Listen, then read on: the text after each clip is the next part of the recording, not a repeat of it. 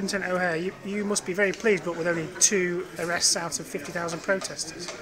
Yeah, we, we're always pleased when we can um, facilitate an operation like this and we don't have to arrest anybody. So, in terms of 50,000 people, two arrests is pretty insignificant, really. And they were for lower level public order offences where people just stepped over the line to what was reasonable behaviour.